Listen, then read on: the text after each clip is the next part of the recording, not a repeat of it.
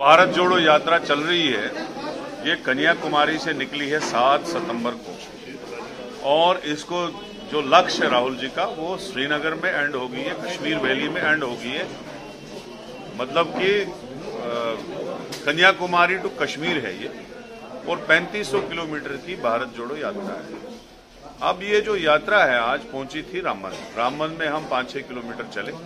इसके बाद हमें ड्राई एरिया में जो स्टून स्टून एरिया है, उसमें हमें बाय रोड जाना था और बनिहाल से पहले दो किलोमीटर यात्रा शुरू होनी थी।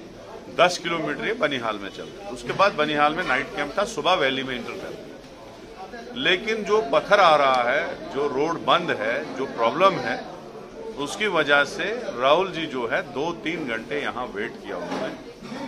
उसके बाद administration police administration district administration deputy commissioner SSP ये सारे उन्होंने एडवाइस किया कि हम आपको आगे नहीं जाने देंगे बिकॉज़ देर इज़ रिस्क तो रिस्क की वजह से पुलिस और डिस्ट्रिक्ट एडमिनिस्ट्रेशन ने मना किया कि आप नहीं जा सकते हो पत्थर आ रहा है। तो उसकी वजह से यात्रा जो है वो सस्पेंड हुई यहाँ पे।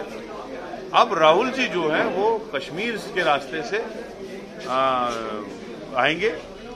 कल ऑफ़ डे है कल रिपब्लिक डे है। परसों नौ बजे यहाँ से शुरू होगा।